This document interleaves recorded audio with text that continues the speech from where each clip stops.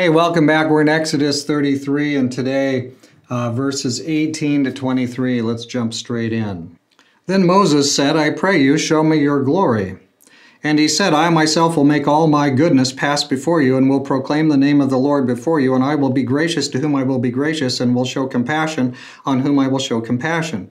But he said, You cannot see my face, for no man can see me and live. Then the Lord said, Behold, there is a place by me, and you shall stand there on the rock.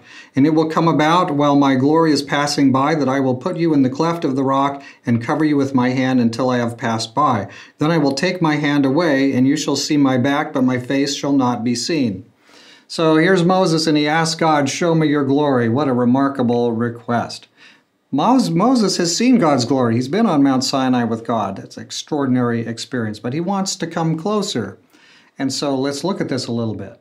Now, God gives three responses here, right? What is he going to do? Number one, I will make all my goodness pass before you. Number two, he says, I will be gracious to whom I'll be gracious to, and I'll show compassion on who I'll show compassion to. So, different particular ways God's going to demonstrate his goodness. Moses can see God, but he can't see his face. He's going to just get to see kind of the backside. So God's going to manifest himself in some way and go past Moses, but he won't get to see God's face. If Moses saw God's face, Moses would die. Okay? Moses has sinned. The holy God is not, he, Moses doesn't have a glorified body yet. Okay? None of us do.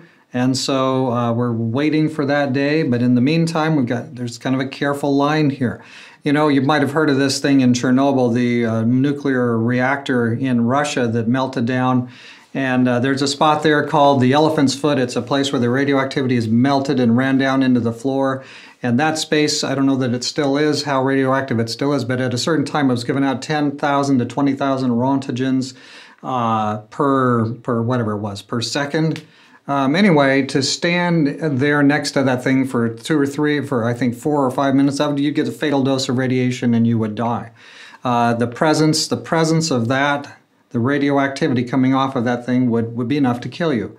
Well, God's radiance compared to the radiance there would be that we would instantly die if we saw God's full manifestation. Moses wants to see God's glory. He's seen some of it before. Uh, but uh, God is telling him, look, you know, we're not in that space yet where I can show you this. But guess what? I believe that a day is coming in which you and I, those who are faithful, uh, in our glorified, transformed bodies, we will be able to see God. We will look on His face. We will see God face to face, and we won't be vaporized or destroyed. But Moses is wanting to come closer to God, and God loves that. God is going to give him sort of a a preview, a sneak peek. He's going to get to see a little bit of something. But notice it's not just the visual. I guess we're very visual people today. All these special effects and crazy things happening, you know, on screens. But Moses is, is going to, and look at how God says he's going to do it. I'm going to be compassionate to who I'll be compassionate. I'll be merciful to who I'll be merciful to. And so God is showing that his presence is going to be manifest maybe a little bit different than we're thinking. It's not like all bright lights it's about God's goodness actually passing uh, before us. So I'm not sure what that would look like or feel like, but I, I, I, respect Moses for wanting that, and I, I would hope that it's that I could have an experience like that too. I recognize that someday I'll have that experience in the kingdom uh, as I let Jesus transform me fully. But right now, I just appreciate Moses. He's, he's lifting the bar higher, and God is saying, Yes, yes, I'm going to allow you to experience everything you can experience.